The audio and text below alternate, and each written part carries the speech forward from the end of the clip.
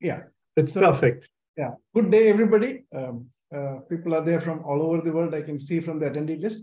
So uh, critical transitions in complex system seminar series or webinar series is being jointly hosted by IIT Madras India and PIK, that is Potsdam Institute for Climate Impact Research, Germany. This seminar series brings together experts in from fields such as climate science, combustion, neuroscience, fluid mechanics, etc., and aims to disseminate the state of the art in the prediction of critical transitions in these diverse fields of study. So the seminar takes place every month on the last Monday of every month. Okay, so please mark your calendars. Before introducing the speaker, a, a few housekeeping notes. I request everyone to turn off their microphones. Um, please use the Q&A box or question and answer box in Zoom to ask the speaker your questions. You can type your questions in and speaker will answer them at the end. Uh, so with this, I turn over to uh, Professor Kurths, who will introduce the speaker. Yeah, thank you very much, Sujith, for the uh, very clear words. Uh, I'm very happy to introduce today to you Professor Ulrike Feudel. Uh, I suppose that many of you know her. Uh, she studied and got her PhD at the Humboldt University in Berlin, made then habilitation at the University of Potsdam, had then uh, some rather stay as a postdoc in Maryland University, and then got a full professorship at University of Oldenburg. And uh, she got several awards, mainly to mention, from my perspective, the Richardson Award uh, from uh, European Geoscience Union, which uh, she got last year. Uh, other awardees were, were, for instance, Mandelbrot and such people. It's a really high-level award. And Ulrike is a very uh, well-known specialist in various deep bifurcation problems. And especially uh, she got important results on strange non-chaotic attractors, uh, on multi-stability, extreme events, and uh, these days more shifted her interest to tipping and critical transitions and applications. And if I understand correctly, this will be the main uh, topic of your talk today. Please, Ulrike, you have the floor. So thank you very much for the nice introduction. And now I'm sharing my screen so that we can start. We can see it. So you can see it, okay. So, but I will make it full screen. Okay, good. So uh, as already announced, uh, so the topic I'm talking about are tipping phenomena and resilience in complex systems. I would like to talk about theory and applications mainly devoted to climate science. And this is joint work with uh, Lukas Hallekotte, Sarah Schönmakers, and Anna Vanselow, who are PhD students, or say former PhD students of mine. Sebastian Wieczorek from the University College Cork in Ireland and Balint Kaszás and Tamas Tél from the uh, Loránd, uh, Loránd University in Budapest. Now, when we think about uh, tipping phenomena in nature, so then I will give you just as an introduction and motivation for our work, uh, some examples so which are in the discussion already for quite a long time. So you see uh, this tipping uh, phenomena business, so to say, this kind of research has started already in the 90s, last century. So, uh, and the importance of this kind of phenomena is particularly when we look at uh, natural phenomena in climate. And the examples I have chosen are uh, from exactly this area. So on the left, so to say, you see here uh, this is a, a, cartoon picture, if you like, so from the thermohaline ocean circulation, uh, large circulation uh, in the Atlantic, or it's over all over the world, but the most important part, at least for Europe, is the Atlantic part, uh, which is um, density-driven circulation, which transports heat from the uh, warmer climate uh, in the south uh, to the north, and then the heat is basically released to the atmosphere. And uh, therefore, we have a rather warm uh, climate in North and Western Europe. Compared to, um, to cities or to locations at the same latitude in Canada. But uh, so there is a certain threat uh, for this kind of circulation to break down as it has been in the past. Uh, so in um, so in the ice ages, basically uh, before the Holocene, and uh, so this breakdown of the thermohaline ocean circulation would be one of the tipping phenomena, so which would affect uh, hard, uh, so very strongly Europe because of the cooling, not the warming. So even though it the cause is global warming, but uh, there could be a cooling in Northern and Western Europe due to a breakdown of this circulation. So this means we have two states here which are possible. So one, the heat transfer from the south to the north is on and the other one it's off. There is a part of this uh, thermohaline ocean circulation where the deep water is, so to say, uh, um, the deep water is formed in the ocean. That means the, the um, the water gives up the heat to the atmosphere, changes its density and sinking down to a very large depth. And so this is called the deep water convection.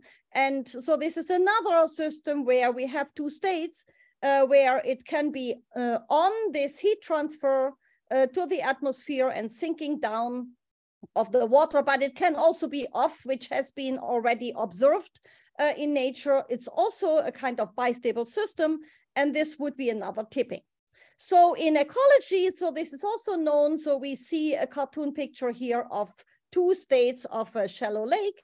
So which could be a clear water state uh, with lots of biodiversity, lots of uh, animals here and plants, particularly plants on the bottom of the lake.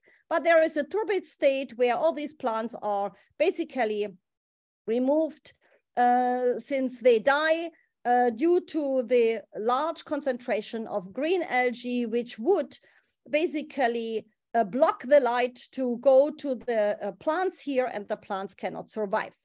But one would also see in other areas in ecosystems changes in the dominance of different species as here, so to say, uh, this dominance change, this is also data. Uh, so where certain crabs have taken over the dominance in a benthic ecosystem. Now, when we think about uh, this uh, tipping phenomenon, then there we have a very long history of, uh, of research in this area. And uh, even though this has been basically um, um, introduced the kind of uh, term regime shift in ecology and the term of tipping points in climate. So these phenomena are much older in, and uh, studied in mathematics where we would call it instability. So these are three different names for the same kind of uh, phenomena, but uh, so they are slightly different in their uh, definition. For the moment, we would like to understand it as a relatively uh, sudden change of a system state under the influence of changes in environmental conditions or external forcing. And usually this is related with the crossing of the threshold. In general, we would talk about critical transitions, in this case, as the whole series of seminars here.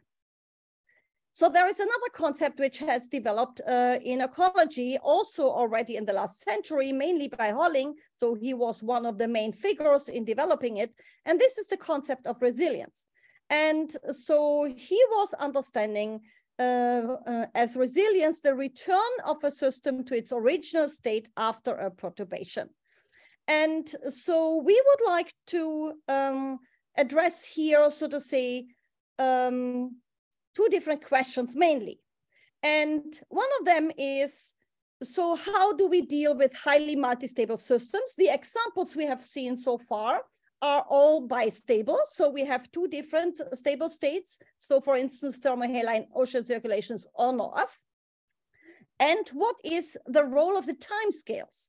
And time scales are extremely important. And I will uh, talk about this in more detail uh, because uh, so when we think about climate change, then we have to think about the intrinsic dynamics of any ecosystem, parts of the climate uh, system, but we have also to think about what are the drivers, on which time scales the drivers are. And this interaction is quite important when we think about tipping phenomena. So therefore, we have to search for tipping uh, also in non-autonomous systems. And I will tell you a little bit so how this works. And when we think about resilience, so then Holling was saying that this is the response to a perturbation. So he is looking for the response of a perturbation, whether there is a qualitative change or there is no qualitative change, which would be, so to say, uh, the uh, the question of whether there is a tipping or there is no tipping. But what kind of perturbations we can think of? So there is, of course, different types of perturbations uh, which are around, and one of them would be fluctuations, of course, which are inevitable in nature. There could be shocks. That means these are perturbations which are on a very short time scale, so they hit the system at once. They are not um, small perturbations, and there are trends. And this is what we see in climate change. For instance, we have trends of, uh, of changing uh, basically the mean temperature, the content uh, in CO2 in the atmosphere. So this happens on a certain time scale. And now the time scale discussion comes into play. So because these trends have one time scale, but our system, which has to deal with these perturbations, so is acting on a different time scale. And the response of the system can be different because it can tolerate this kind of uh, uh, perturbation it can adapt to it, or it can transform and react in a completely different way so that we might have only one state, for instance, as this example here shows, after the perturbation, and we finally end up with a system which was bistable before, but it is not bistable any further. Now, what is important in this talk is the concept of multistability, which is for most of you probably known. And uh, so here is just a picture. So what are the main ingredients when we are talking about multi-stability? And so this is a system which has several stable states.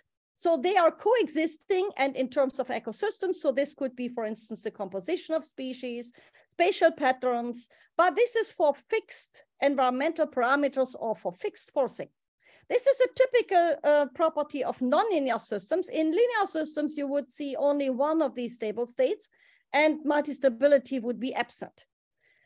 But so what is an important concept uh, as well is the basin of attraction. And this means which of the stable alternative states here, alternative when we have only two, will be realized in the long-term limit. This depends strongly on the, the initial conditions. So if we think about this ball here, so which is just here on the hill, so this can roll to both sides so that everything what's left of this red ball would basically be all the initial conditions which would um, end up in this stable state and on the other side to the other stable state. That means the basin of attraction is the set of all initial conditions which all would converge to the same state.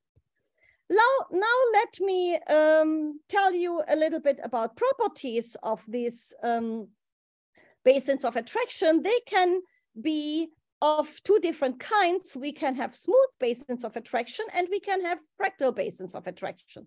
So for the smooth basins of attraction, we see, so to say, that we have here smooth manifolds which are separating the two basins of attraction. But on the other hand, it can be much more complicated because it could be so that we have complexly interwoven basins of attraction due to their fractal nature. And we see that these basins of attraction or these attractors here, which are the stars here, and the different colors denote, so to say, the sets of initial conditions which converge to this star here and to this star here. And we see that the minimal perturbation we would need here in this case is much smaller than in this case, and when we are outside with our perturbation, then we cannot even decide which color we will hit and therefore to which um, to which attractor or this long-term state the system will converge. Now, when we come back to our perturbations, so then all of them, so to say, are possible um, to, uh, to be applied, so to say, to a certain system and look for the response. But all these perturbations act in a different way, and it can also on, uh, um, uh, act on different components of the system. The impact is quite different, and therefore we have carefully to, dis to distinguish uh, the, the uh, different perturbations to see what the impact is. And when we think about the bistable systems I, what I was talking about in the very beginning for a motivation, and what I showed with this kind of cartoon picture with this stability landscape. So then we can we can uh, now visualize this bistability here in this uh, kind of a bifurcation diagram where we have two stable states, the red and the blue. So they depend on a certain parameter or external forcing. This would be a state variable. So you can suppose in the simplest case, this could be fixed points here. Uh, so which are uh, which are here the attractive sets, so the stable sets in the long-term limit. And so you see here at one, two, and three, the, the different stability landscapes, which would correspond to these parameter values. So we have this region of bistability here. And if we are beyond this region, then there is monostability, only one of the states is left. And here we have this kind of double well potential, so which is also different, say, in terms of the depth of the valleys in these different, um, uh, for these different parameter values. Now, when we think about perturbations, they can, of course, act in different ways because they can either act on the state variables. So this would be, so to say, the vertical here. And they could also act on the parameters. So we can change the parameters. So in a perturbation, for instance, with a trend, or we can uh, or we can uh, change the state variables. Uh, so either with fluctuations or say with this kind of shocks. And the outcome is quite different. And this is what I would like to talk about. Now let's think about, uh, so what types of um, uh, transitions are possible. So, so since I said that this kind of research is already quite old, uh, I would like to uh, I would like to say something about the classical ones, but only shortly. Because of course, when we look at this kind of diagrams that we know that this is a bifurcation diagram, and there are these certain points here, these limit points or saddle node bifurcations, where a bifurcation is happening. And that means if we are changing parameters or external forcing, then we can cross this cliff here and get to this other stable state by just moving over the cliff and falling down to the other stable state. So this would be a bifurcation. We are changing the stability landscape basically, and this is called a B-tipping. Now we can also have noise on the system when we are we have a bistable system, and this noise would also kick the system over this um, this hill here, and end up in this state, but this is dependent on the noise strength. So with a certain noise realization, we can kick the system over the hill and land in another state. So this is also a classical transition, which has been uh, studied already for a very long time. So therefore, I would like to focus more on the other two. Uh, and uh, so this is a shock tipping, which is a result of a single large perturbation, the shock, or even an extreme event in nature. So this is basically a perturbation which kicks us over the basin boundary.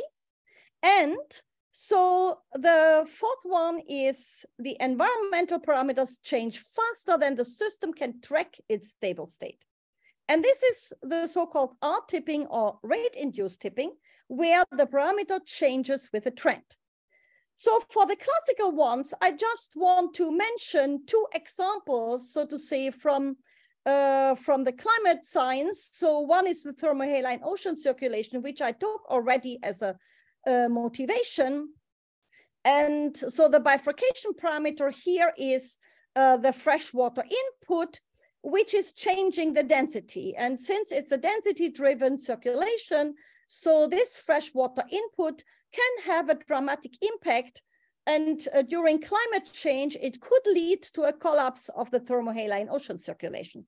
This has been found already uh, so in the 90s, and one can uh, uh, use here global ocean circulation models to show this kind of decline. One can also use conceptual models where the breakdown comes uh, uh, through bifurcation and it can be either the saddle node bifurcation is here, or there is even um, Hopf bifurcation, which is subcritical so that the thermohaline ocean circulation can break down.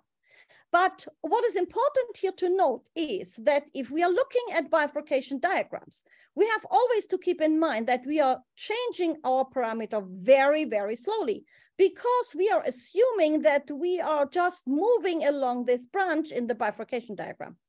And this means it takes a long time. The dissipation has to bring us always back after perturbation to this branch here. And therefore, so here the parameter uh, changes are extremely slow.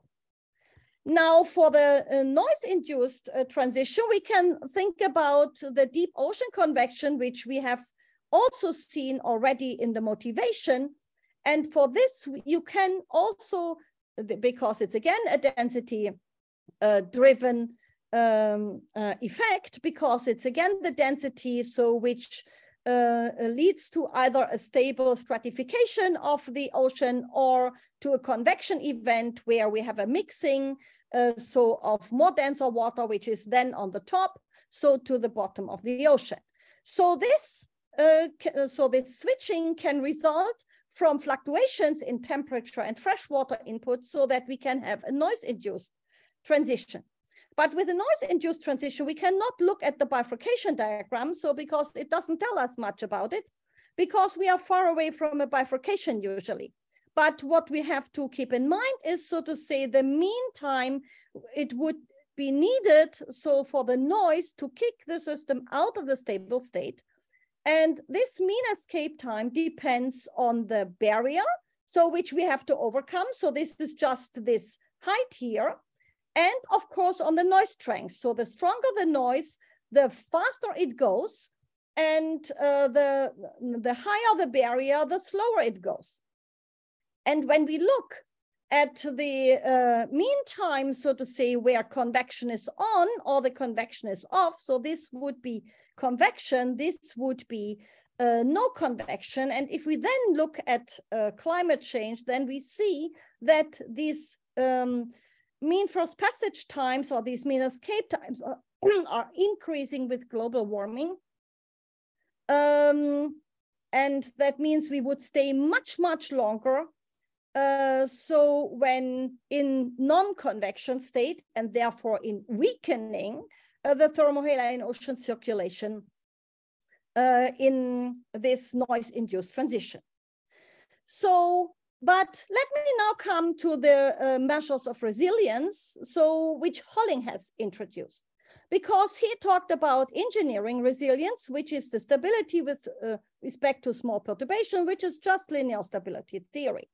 But he also talked about ecological resilience, and this is the stability with respect to large perturbations, and you can translate it also, uh, so to say, the other way around and say this is the smallest perturbation which is necessary to leave the current ecosystem state. And so in mathematical terms, this means that we have to compute the smallest distance to the basin boundary.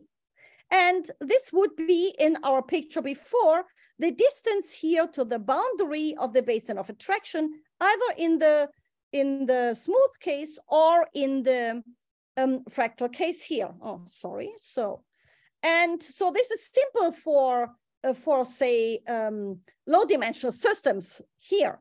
But for high dimensional systems, this is a real challenge. But it's possible to do. And uh, so uh, one can develop an optimization scheme because you cannot probe all the directions. So what is the smallest distance uh, to the uh, to the basin boundary. So therefore you need an optimization scheme. And this optimization scheme, uh, so which we have introduced here to look at the smallest distance to the basin um, to the boundary of the basin of attraction. So this is basically inspired by a totally different, um, by a totally different method. So which has been developed in hydrodynamics, uh, where people look at the smallest seed or the minimal seed, how you can switch from a laminar to a turbulent motion. And this idea, so in, in, a, in a turbulent state, so you go from a laminar to a turbulent motion in hydrodynamics, this is a very high dimensional system. So one can also do this kind of optimization here. Uh, so to get this kind of vector here, and this gives you not only, so to say, the amount of perturbation what you need, but it gives you also the direction. And this is very uh, important to think about. And uh, so this is, uh, I would like to demonstrate with a certain, uh, with a certain example, which uh, gives us uh, an idea, so to say, how this minimal perturbation can look like. And we would like to look at um, at uh, networks, so which are basically pollinator networks plants and pollinators which are interacting.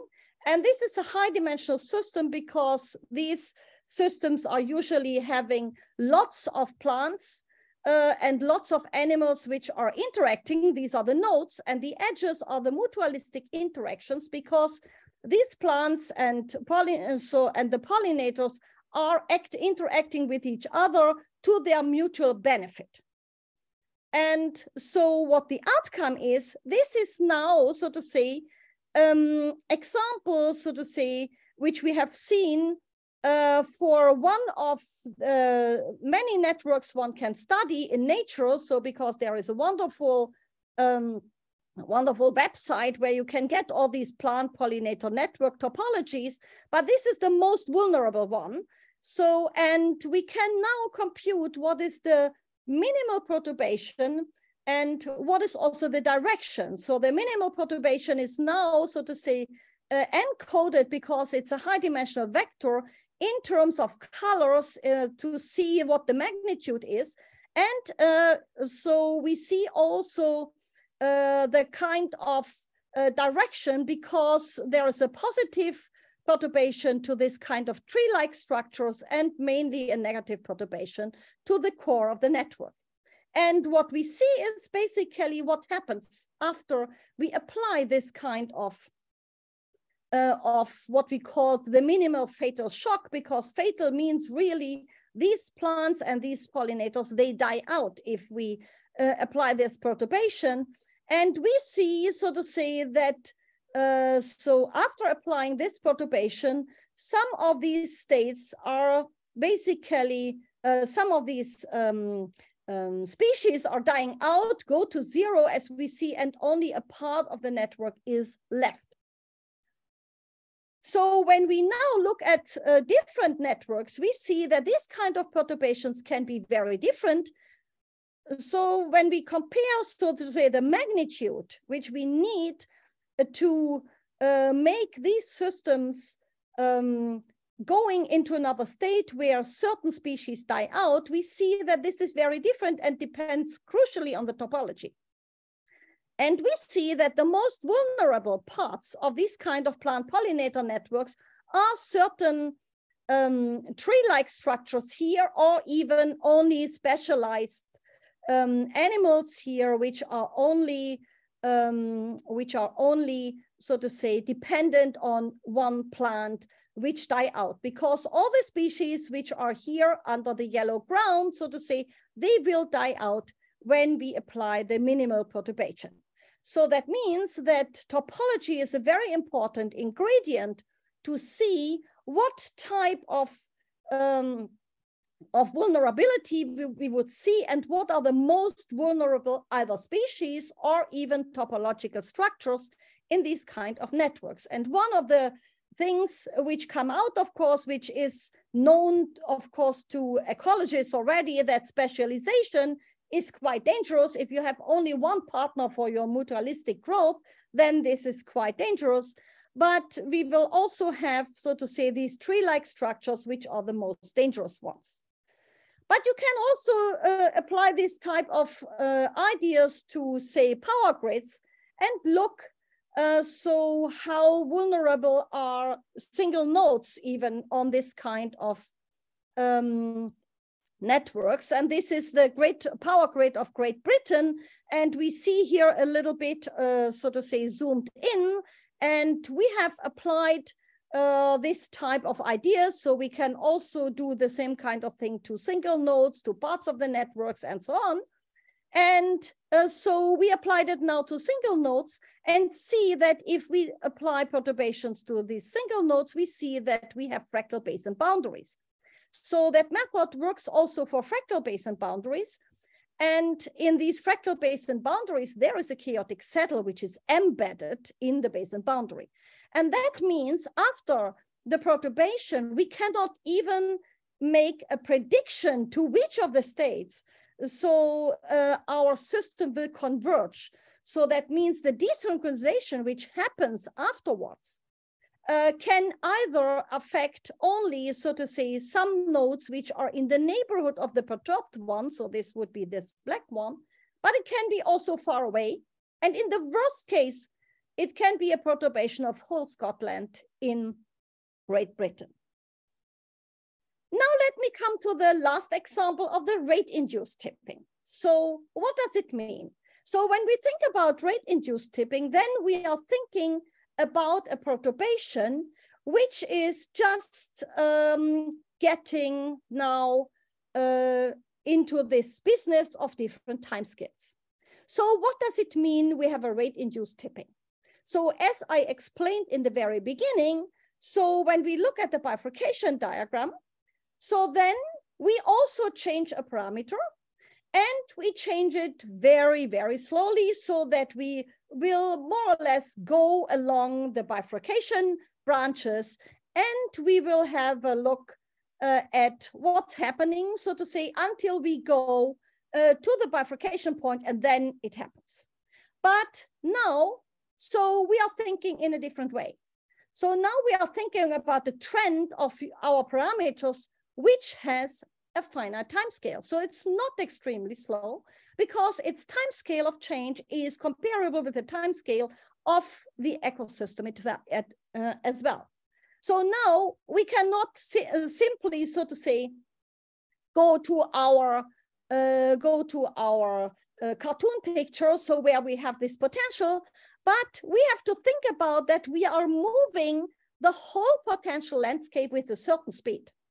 And if we do so, so then we see that our ball, which was originally here, uh, say in the bottom uh, of uh, of the um, uh, of the potential, so will move because so the the landscape is moving. So therefore, we have an elongation or a perturbation to our state. So it wants to track the stable state and get back to it.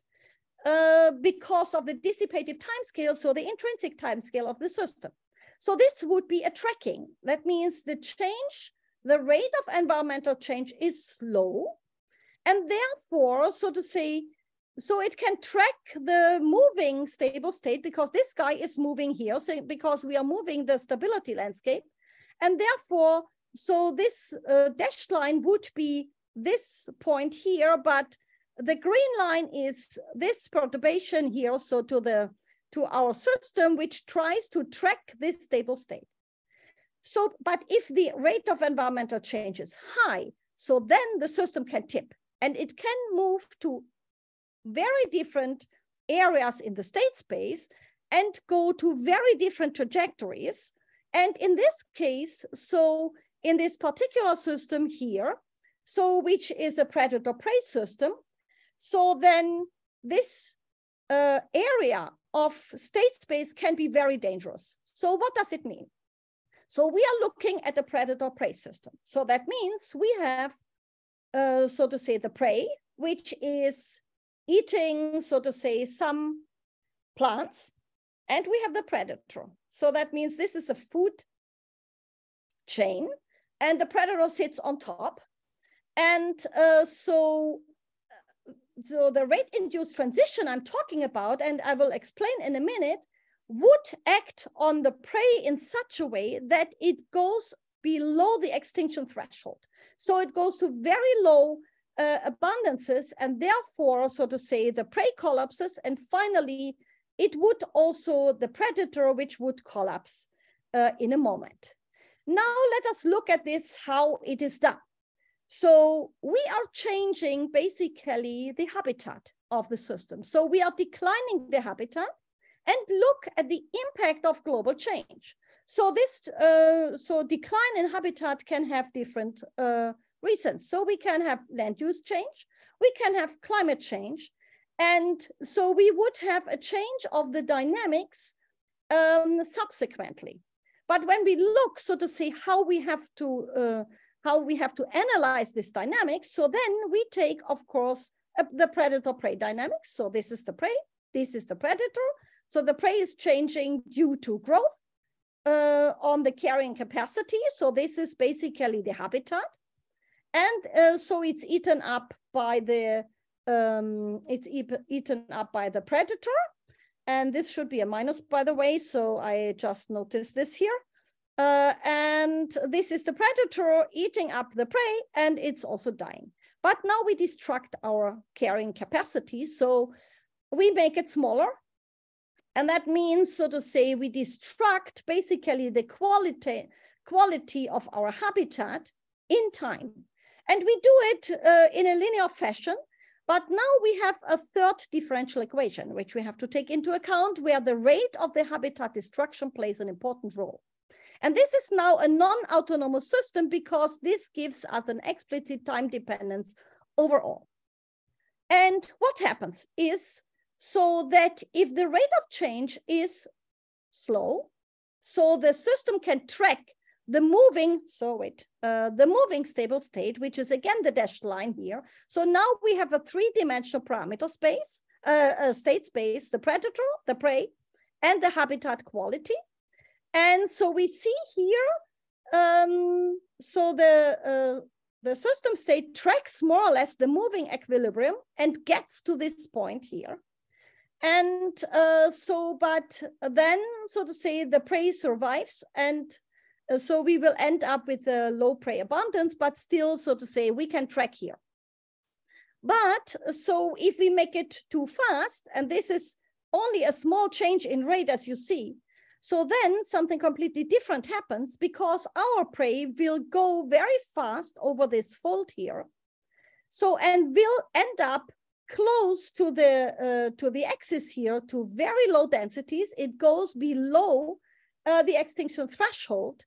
Of course, mathematically, so it would after some time because the perturbation, uh, as we uh, saw here, stops after, some time, and uh, so it will, uh, of course, not um, so not die out. So it will go to very low densities and then finally go back to this state. But in reality, this would not happen because so these densities are extremely small so that they are not making any sense anymore in ecology. So therefore, any small perturbation like any noise would make the prey getting extinct.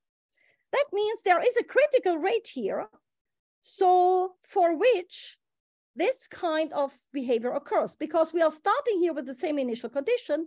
So here the rate is at one value, here the rate is at another value, and in between there is a change from this behavior to that behavior. And we can compute what this change is because we can identify this critical rate and see that so there is a curve, so to say, in this state space, which is called the canard trajectory, which separates all the initial conditions which are tracking from the initial conditions which are tipping. That means here we have a tipping. So this is a rate induced tipping. All the initial conditions above would give rate induced tipping. The ones below would give tracking. That means this canard trajectory would make up the boundary in state space for the initial conditions and separate tracking, tracking from tipping. And so in fact, when we change the rate, then this canard trajectory is moving in state space And that means if we take the same initial condition, so then and change the rate, so this guy here, so to say, this boundary would move over this initial condition, going from tracking to tipping, and this would be the critical rate when this canard hits basically here, uh, this point. So that means for each initial condition, there exists a critical rate for this kind of transition.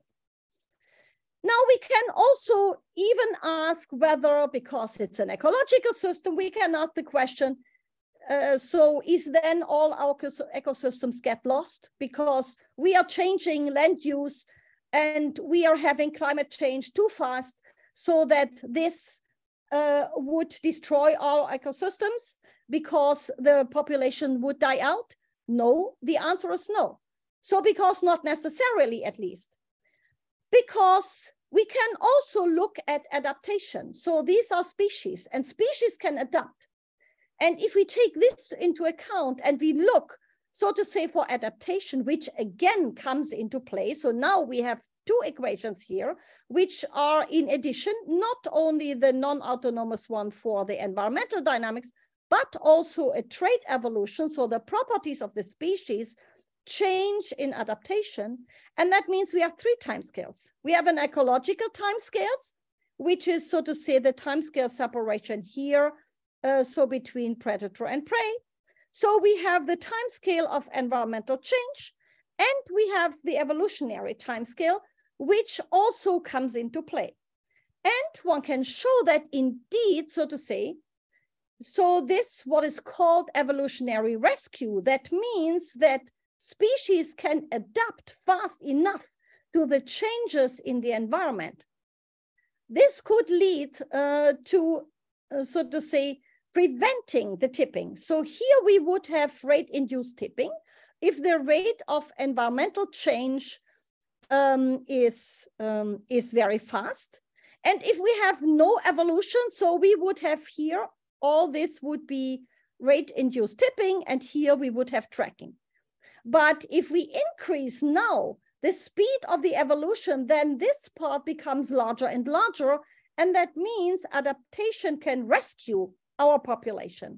And that means not everything is lost, but adaptation, which of course is possible for, um, for um, species in the environment, but maybe also for us when we think about um, when we think about other systems where this rate induced tipping can occur. So there are opportunities with um, other timescales which might interact and which might rescue us and therefore so this kind of rate induced tipping would not occur. As a final point, I would like to mention now uh, what happens in highly multi-stable systems with rate induced tipping as well. And here I mean systems which have, in general, very complex bifurcation diagrams. And they have fractal and complexly interwoven basin boundaries. And these systems usually possess not only permanent chaos at some point, but also transient chaos. If they have fractal basin boundaries, as I mentioned already previously, there are chaotic saddles embedded in it. And when we look at these multi-stable systems in the literature, so then we see that there is a lot of discussion what happens when we change parameters, but usually everything is only reduced to bifurcation tipping. And the time scale of the driver change is neglected so that we have something like a quasi-stationary approach. That means our time scale of change of parameters of forcing is very slow. So we are back to bifurcation tipping in the very beginning of the talk, but now we would like to leave this and again choose the way what happens when our time scale of change uh, becomes comparable with the intrinsic time scale, that means the internal time scale or the dissipative dynamics. And let's have a look at an example now, not from climate science. Uh, so this is a pendulum and uh, so this is periodically forced with a certain amplitude. This is the bifurcation diagram.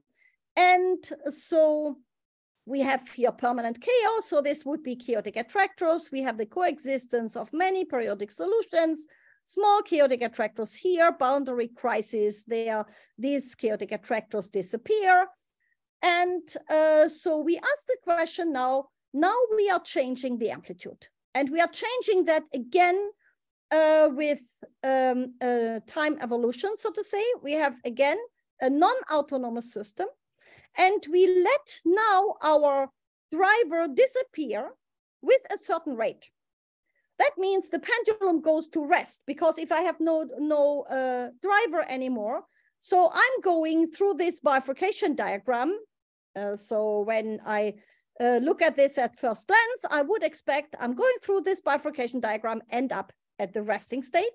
And we do it exponentially fast that we can also compare it with the dissipation rate, which also acts exponentially when we think about eigenvalues. And these are the different scenarios. So that means we go first to this attractor, so which we, uh, we start here, and then we just let the uh, driver disappear.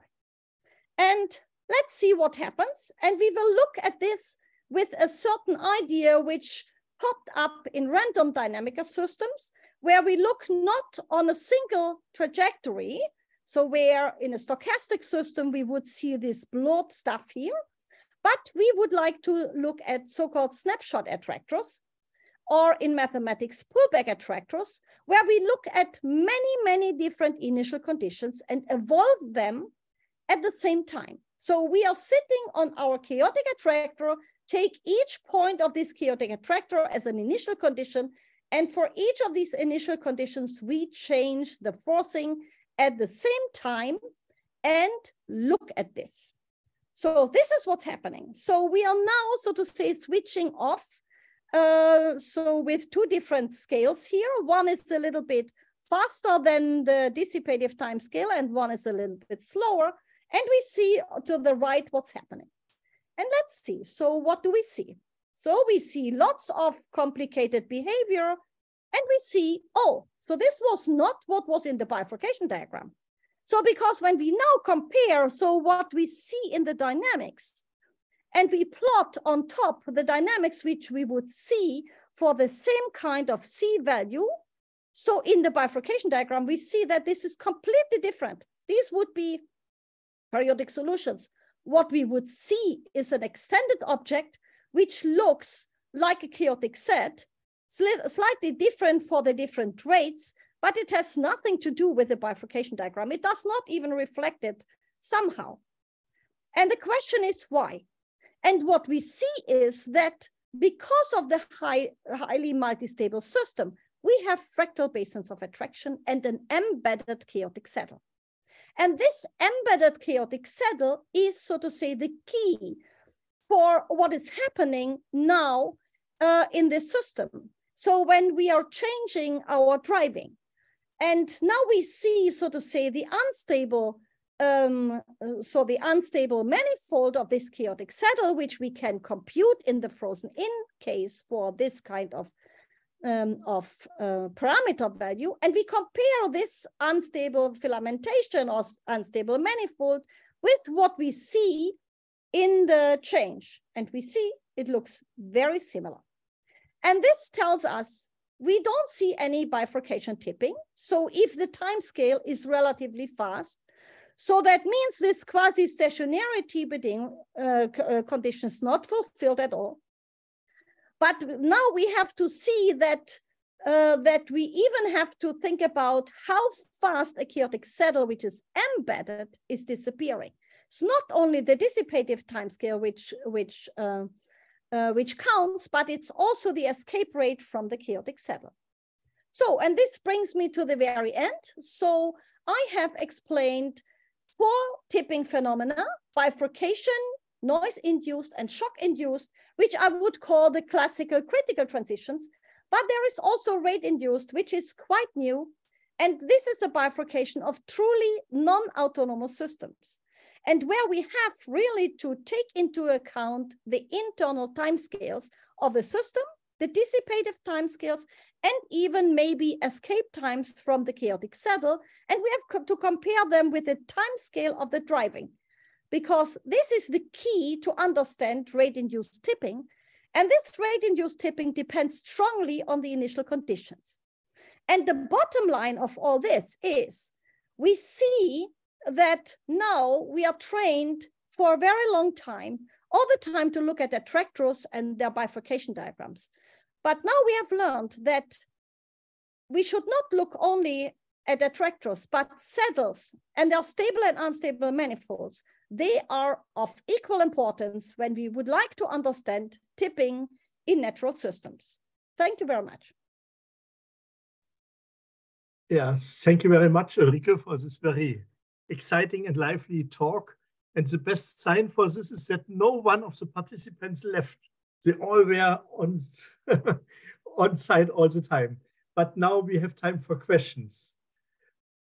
Uh, maybe Sujith or your people can help to yeah, identify. Yeah, definitely. So uh, everyone can type their questions on the uh, Q&A uh, I guess it takes one or two minutes for people to get their questions up. Maybe the panelists can ask some questions by the time the Q&A box opens up. Maybe I, I can ask a question. Uh, Ulrike, you mentioned uh, in the RASA beginning these different types of perturbations. And mm -hmm. one is fluctuation and the other shocks. But if you have such uh, a bit strange kind of noise as Levy or so, then you have a combination of both. Have you also considered this? Uh, we didn't, uh, but uh, so of course this is uh, under consideration. So we haven't done anything uh, like this, but uh, so I know that, for instance, Valerio Lucarini is working on this. So uh, working on, say, noise-induced transitions with Levy noise. And there, so to say, so I have shown in my um, in my presentation, uh, let me go back here. Uh, so I have shown you the noise-induced transitions. So it's here. And uh, so so we see that there is another stability measure which you have to take into account. So this is the mean escape time. And the mean escape time, as it is shown here, so this is only uh, valid for Gaussian noise. For Levy noise, you would you would get something completely different. Mm -hmm. And uh, there is a different scaling. And uh, so this is uh, this is under investigation. So you get you get different answers from the system uh, so because it scales differently with the noise strength. So this kind of transitions. Thank you. Thank you. Yeah. So thank you very much, uh, Professor Feudel, for a very nice and interesting talk. Uh, you talked about weak perturbation and strong perturbation. But what about intermediate per perturbation? So what are the effects of uh, um, uh intermediate perturbation. Do you see anything interesting? Uh, I would, I would, uh, so to say, consider the intermediate ones, so to say, the same as the as the larger ones. So I mean, uh, so there, so the small perturbations we can, of course, uh, deal with as what is linear stability analysis. So, but then of course, mathematics tells us so that if we have small perturbations, and uh, this is usually assumed to be in a neighborhood, and the mathematical theorem does not tell us how large the neighborhood is going to be. And uh, so they tell us, and this is what we have to expect. We can use the eigenvalues for larger perturbations, so which are still um, say not reaching the basin boundary. So because the basin boundary makes, of course, rather large differences, um, we could have uh, uh, uh such things li like, uh, so these kind of rate-induced transitions, if we, if we uh, now shift our system to a region uh, in state space where the, the system becomes very vulnerable, then of course I can imagine that also other things happen.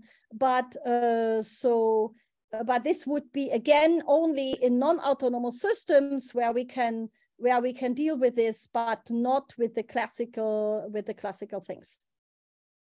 I see. okay. You also talked about moving equilibrium. So what is this moving equilibrium? Uh, so when we go back here, just a moment, I will. Uh, so when we when we look at this, um, so when we look here now at this uh, stability landscape, and we are moving the stability landscape, and if we do so, then we are moving also our equilibrium. When we say this in terms of uh, of say um, equations.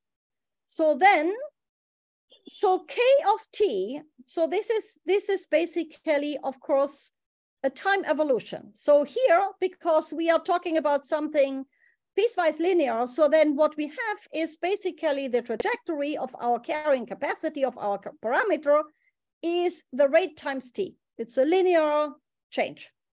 And in principle, so we can compute the steady states of this, so the equilibrium again, but now it depends on a k, which depends on t. That means this equilibrium moves, quasi-stationary, so to say. It moves, and so this that, movement that is, is the move of this equilibrium. So that is not really an equilibrium because it changes with time. Yes, in this sense, yes. So therefore, it's a quasi-equilibrium, if you like. So because it's not an equilibrium in the classical sense, I totally agree.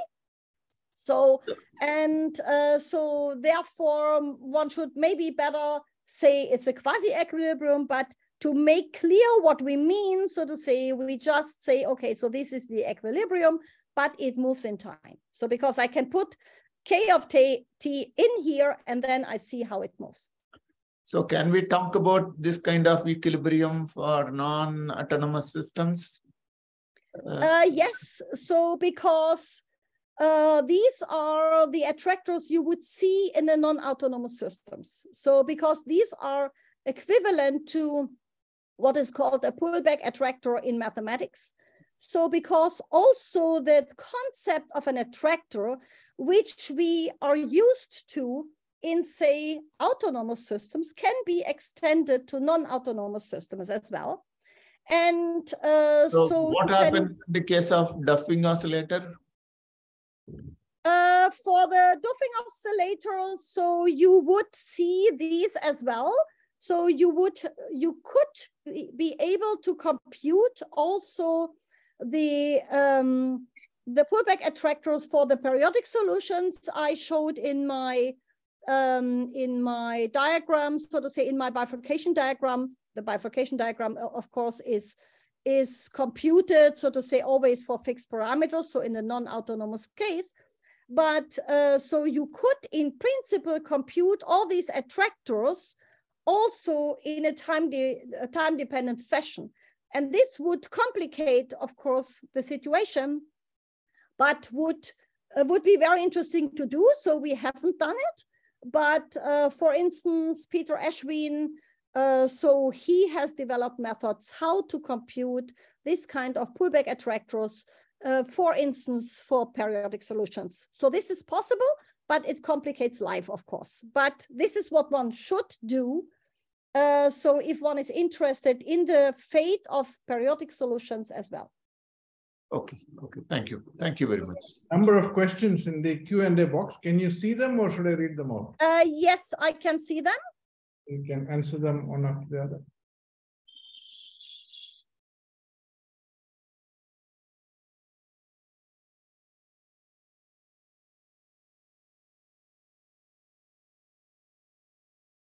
So okay, so so the first one, uh, the first question is so to say, um, whether the network approach captures the nonlinear interactions terms, yes. So because uh, these plant pollinator networks, these are in fact nonlinear differential equations, which are in the background. Uh, so which I haven't written down here. So because these are interaction networks. So these are um, compared to the networks which we would have uh, in in the in the power grids where we have nodes where there there there is a certain dynamics and then there is basically a linear coupling uh, between them. Uh, so uh, or, or if I look at uh, such things where I have say nonlinear systems acting on a node and uh, with a linear coupling. So this is one type of network you can think of. But another type of network is what is called these plant pollinator networks or also food webs would be of the same kind. These are interaction networks where the network structure comes uh, about only uh, so about the interaction between the different species and from these interaction terms you draw the network and uh, so uh, chaoticity is um, is also chaotic motion is part of the business. Uh, not always uh, so, but for the for climate examples, this can be uh, so that we would have uh, we could have also chaotic states there even chaotic saddles in climate uh, in in the climate system. So this has been shown, for instance, by Valerio Lucarini and co-workers that chaoticity can also play a role here. So okay, so then we come to the next question, and uh, so there are two of them.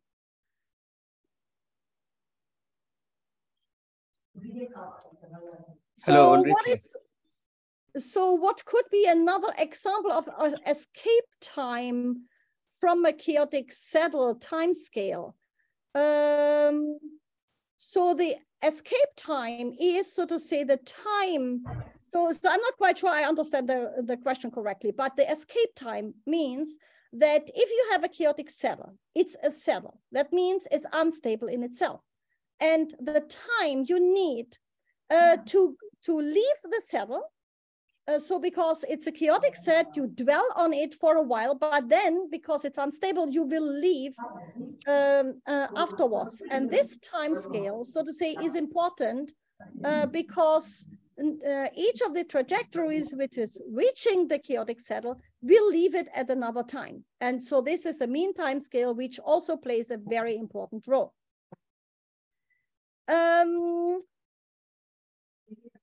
so in solid earth geophysics, uh, I don't know any example for the moment uh, so which would have been treated in this kind of uh, in this kind of say um, framework but I can imagine that um, that this could happen uh, so because an earthquake would be a large perturbation and if you if you would look, for instance, at shock tipping for a building also, then I could imagine that one can, of course, analyze it in in uh, in the same way.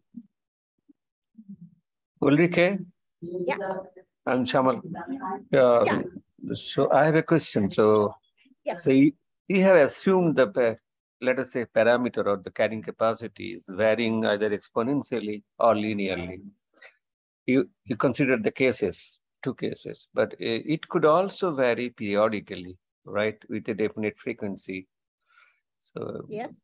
Is, so is there any studies going on such how the whether it may lead to the tipping here? It's a kind of red uh, tipping. Yes, there is. Uh, mm -hmm. Yes, there is. Uh, so and uh, so this has been done by um, so, okay, so I, uh, so I forgot the last name. Maybe someone can help me. Uh, it's Rachel um, Kuske. Yeah. Uh, Rachel Kuske was considering uh, the interplay between rate-induced and noise-induced tipping and compared it uh, so also with a periodically forcing, so to say, so so where you can you can have rate induced tipping basically in a bistable system you tip from one Yeah. attractor to another one so this has been studied uh, and uh, so there is a shift in bifurcations involved so to say when you combine these two Mhm. so uh, so there are papers about this but this is the only at the moment where so the only study at the moment i know Mhm. And not very old one, right? It's more recent. Uh, it's not very old. I think the paper is maybe from 21 or even Mhm. 22. So, so, but this is what you what you can find on on the website. Okay. Mhm. Okay, thank you. So then I should continue with the questions in the chat. Mhm. Uh, whether B tipping is a specific type of R tipping. Um, in principle, you can say so in a way. So because if you make the rate slower and slower, you would end up with what a B tipping would be.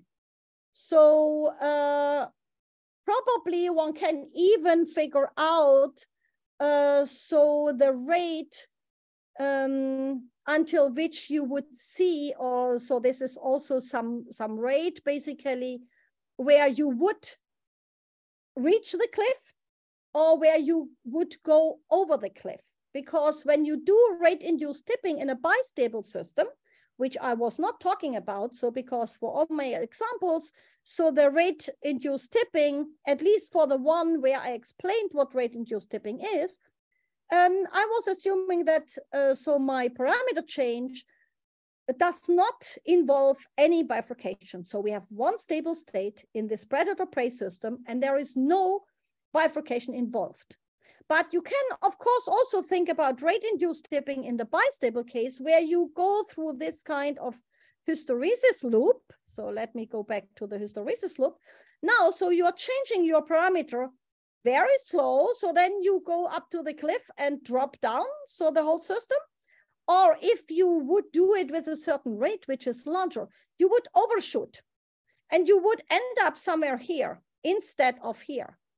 And of course, you would. So this is probably a gradual change. It's not a critical change, I would guess.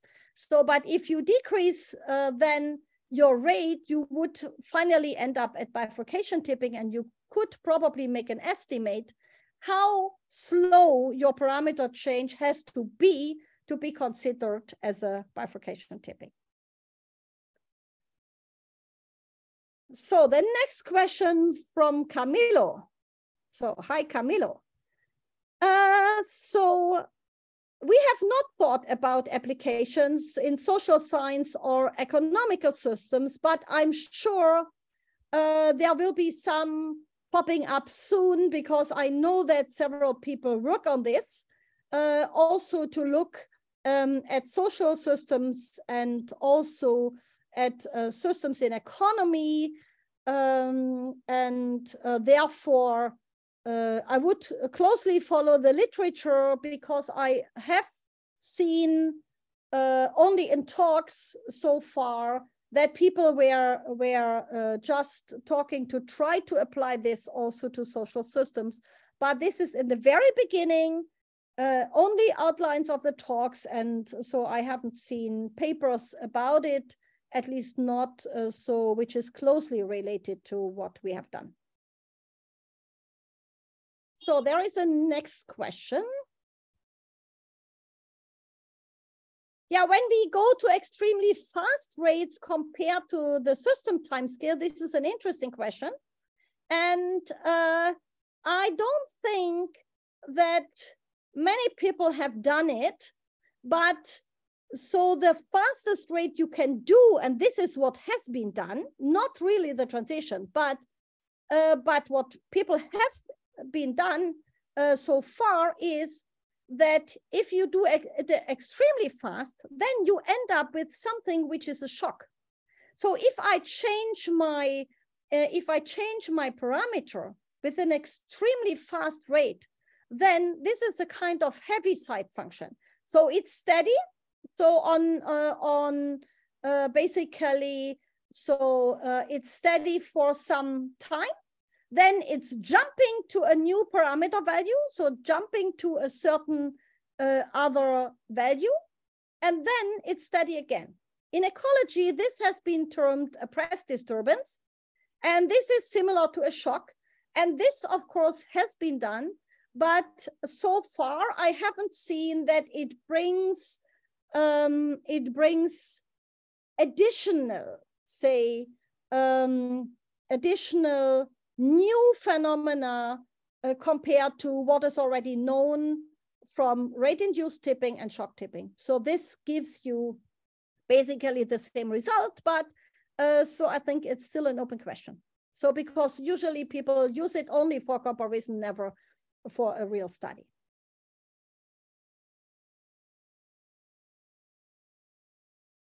Yeah, so the, the escape time scale is very difficult to get in an experimental system.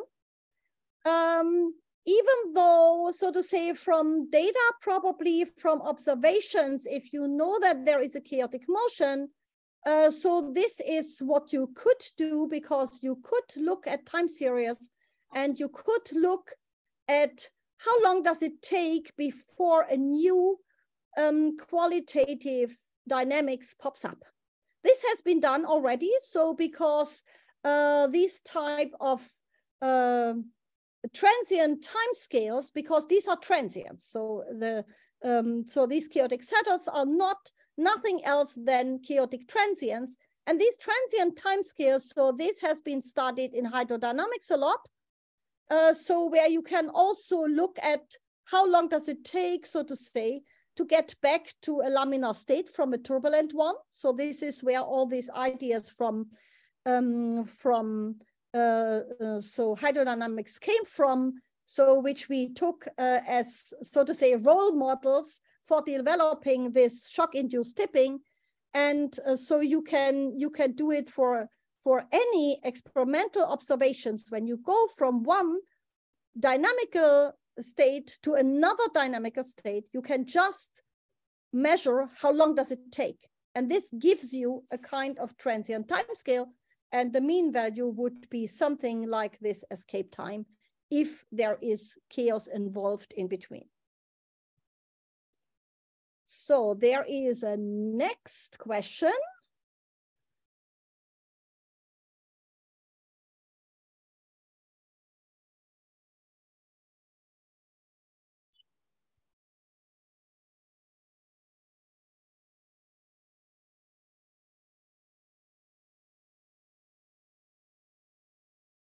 Um, this is also an interesting question. And uh, so um, this has, so there, there is not much what have been done except early warning signals.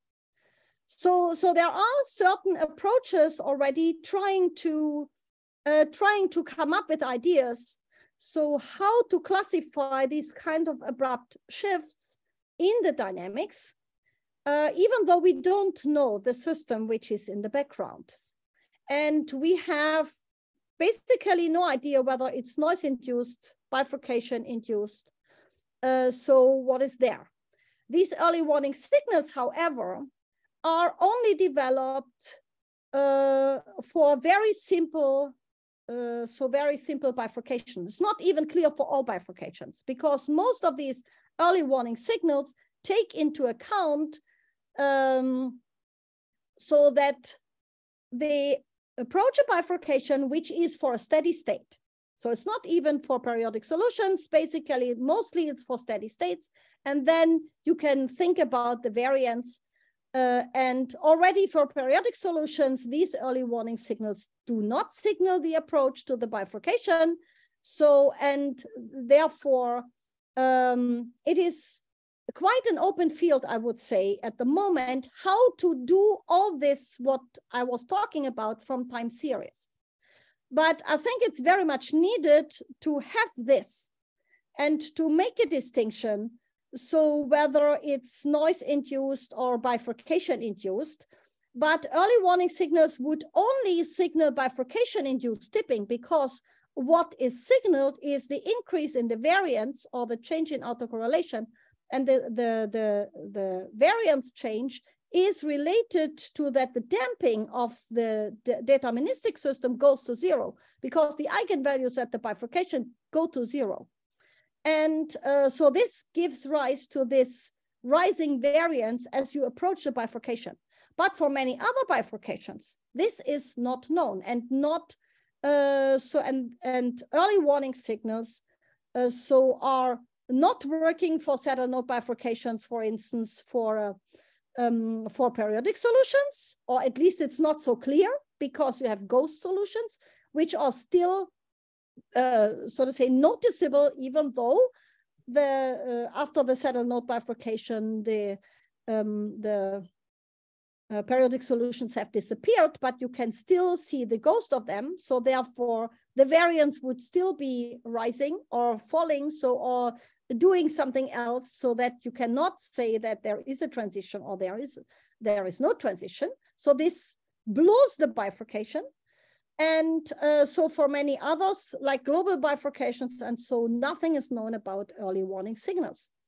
So there has been a paper, I think, about rate-induced transitions where you can you can uh, identify also some early warning signals, but I would say we are far away from uh, having good enough methods for the wide vari variety of different tipping phenomena.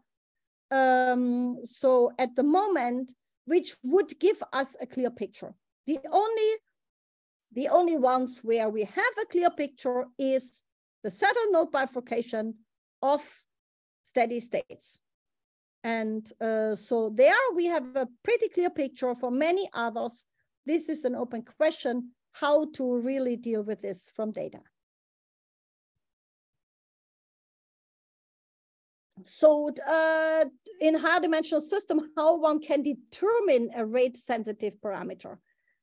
Uh, we have not determined it in a higher dimensional system. So there it was just one parameter.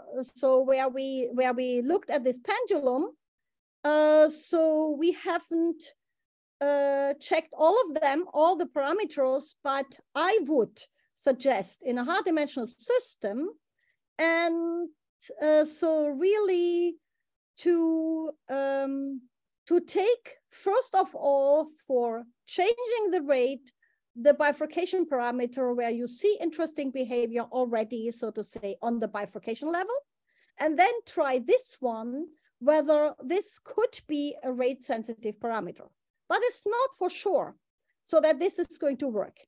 But uh, so um, in the systems we have checked, mostly I could have taken any of the parameters, it would work. So it would uh, show another rate induced transition, but uh, so, so it, it would change uh, the bifurcation a diagram and therefore it would also work as a rate induced parameter, but not all of them. So it's a kind of trial and error, but I would start particularly the, with the bifurcation parameter. Yeah, is COVID uh, some kind of tipping? Um, I'm not sure. So, but if I think about COVID as a kind of um, as a kind of, say, excitable system.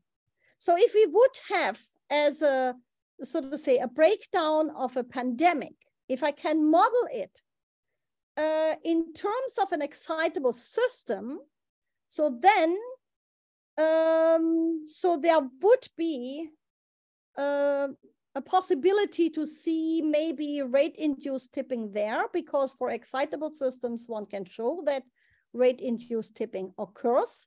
But of course, it depends on how you really model this. And uh, since I'm not an expert in, in, um, in diseases or in, say, epidemiological modeling, uh, I would say that uh, so I would not be uh, able to really judge this um, because uh, so um, whether this can be um, interpret, interpreted as an as a tipping, I'm not sure.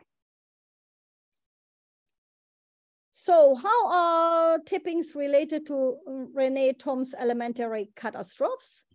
Uh, so of course, Rene Thom's elementary catastrophes occur everywhere where we have bifurcations and particularly uh, so the cusp catastrophe, which is the one which would basically, so this is the simplest of Thom's uh, catastrophe. No, the simplest is the fold, but the next, the next one would be the cusp where these two um, saddle node bifurcations merge.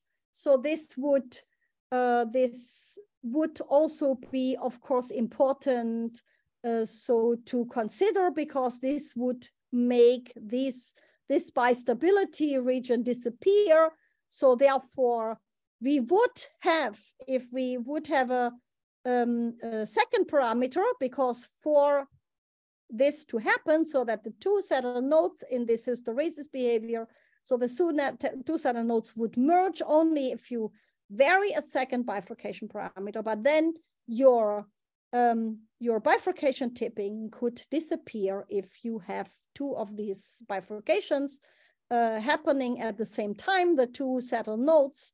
But this has not been studied as far as I know, but is surely related to uh, Rene uh, Thom's bifurcation uh, theory, so these catastrophes, because it would involve the cusp. Um, what is the difference between explosive transitions and tipping. So I'm not quite sure what you mean with an explosive transition.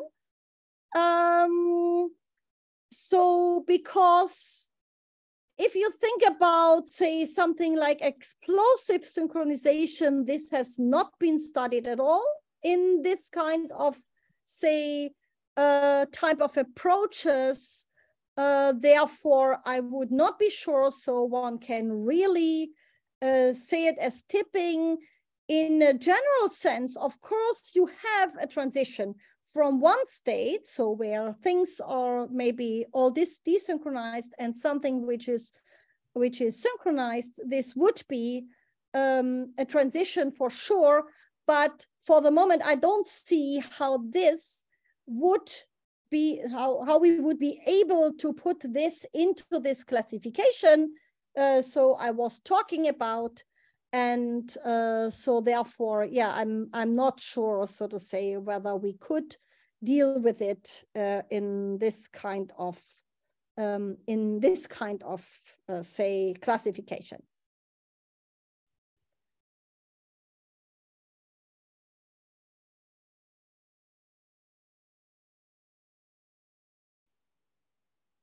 So uh, yeah, so I would take the dissipative time scale. So if we if we vary the bifurcation parameter at a finite rate, so then we have a time scale which is related with this, say, external change.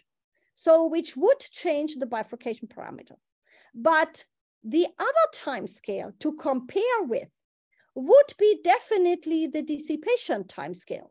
That means how fast my system would go back to the bifurcation diagram to my branch here. So if I would again uh, discuss it in terms of the hysteresis, so then my, um, my parameter, so to say, I would change so that I can go um, along the bifurcation branch and would go up to the um, up to the bifurcation and then so I would tip.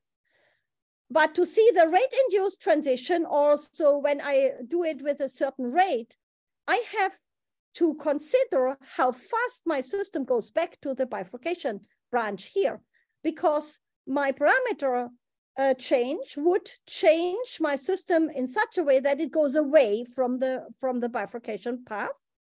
But then, uh, so to say, it so the, the counterpart is the dissipative timescale, how fast I would go back. And if I go back fast enough, I would I would have this bifurcation tipping. But if I'm not fast enough, then this is the time scale to compare with. This is what I would take. And in principle, this is also the, the, the time scale of the critical slowing down because the time scale of the critical slowing down is the inverse of the, of the largest eigenvalue, which is the one which goes to zero. And this is exactly this time scale, so which we have in mind. So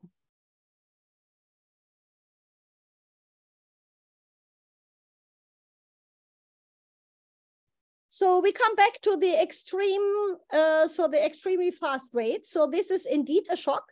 And this shock would bring you, so to say, uh, probably, so if the shock, uh, so is on, if the shock happens to be um, affecting the state variables, we would probably go immediately to another basin of attraction but if the shock is applied to the parameters, which I also can do, then I'm ending up in a completely different uh, part of the bifurcation diagram. And then I would, of course, see the state which would correspond to this part of the bifurcation diagram.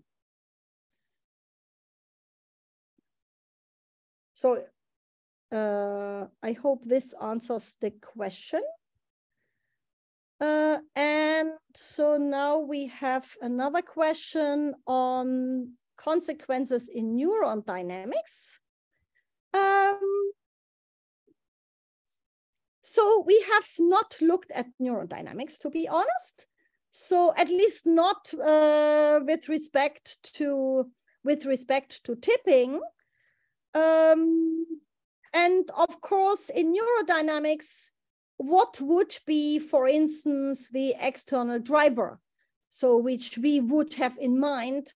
Uh, so to, to basically have this bifurcation diagram here and have this, this kind of either having alternative states or look at rate induced transitions.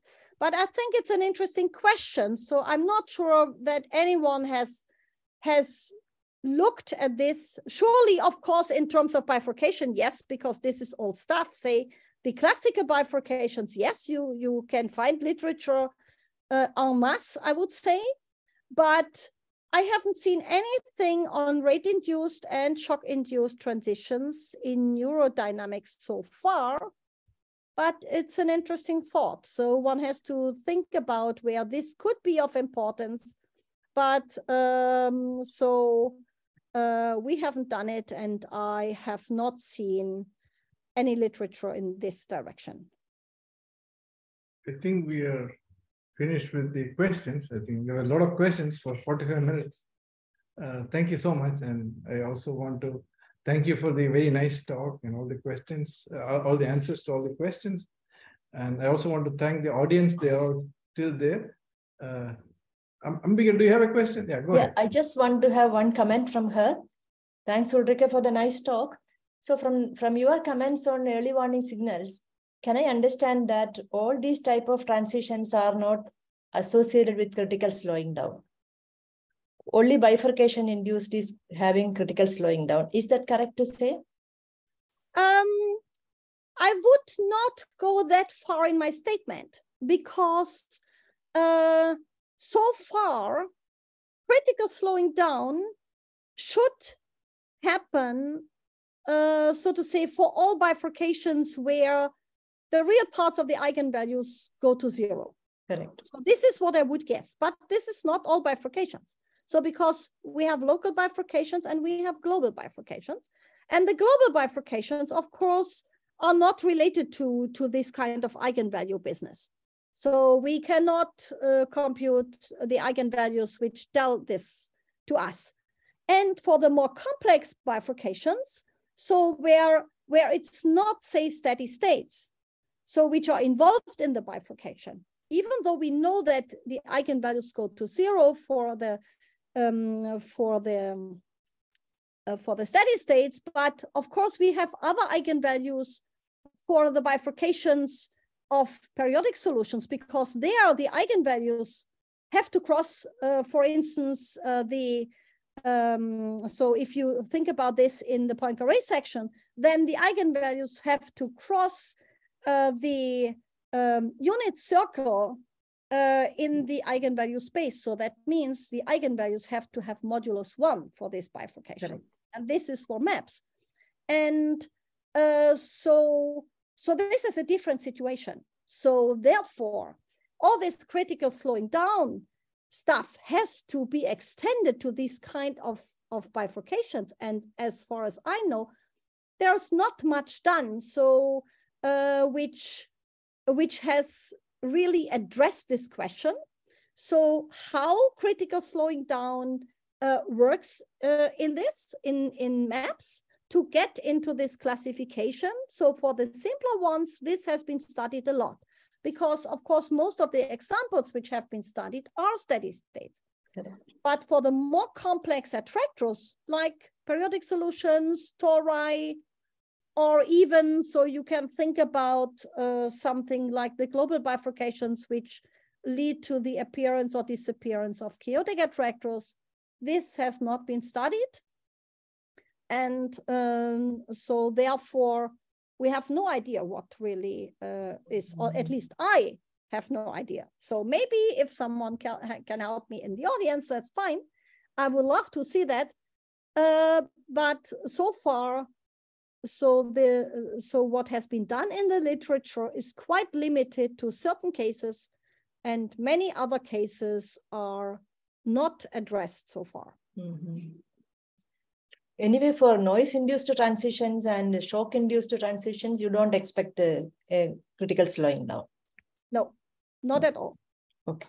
So from that, it's not working for noise-induced transition. This has been shown in a paper. I don't remember uh, so what paper it was, uh, but definitely for shock-induced transition, no. Okay. Okay, thank so, you. So there is no critical slowing down, nothing like this. And I would not expect even to see yeah, it. Certainly. Yeah. Okay, thanks. Uh, thank you very much for this uh, wonderful talk. Uh, and thanks to the audience, they're still there. And we'll uh, uh, close now. And the next seminar will be given by Professor Ram Ramaswamy on 27th of February. That's the last Monday of February. Thank you all and have a nice rest of the day. Okay, bye-bye. Thank you. Bye. Bye-bye.